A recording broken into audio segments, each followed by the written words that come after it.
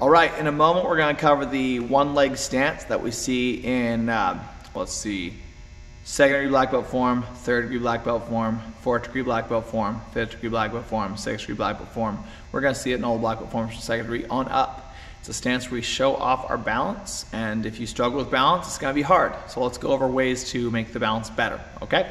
So, first of all, in second degree black belt form, the one leg stance, the base leg bends. In fact, if we turn that foot out a little bit, we'll find more success. The base leg bends.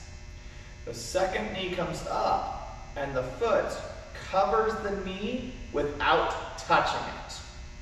So, as we're talking about that technique in secondary black belt, step, blast, boom.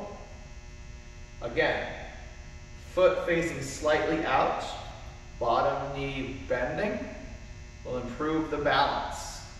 And then this foot covers that knee without touching it. That's our one leg stance in the secondary black belt form. We'll see that in other forms, but now let's cover the one from third degree black belt form and fifth degree black belt form.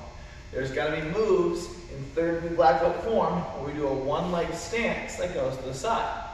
So same thing, it's just, look, it's a side kick. One, two, three, four, five.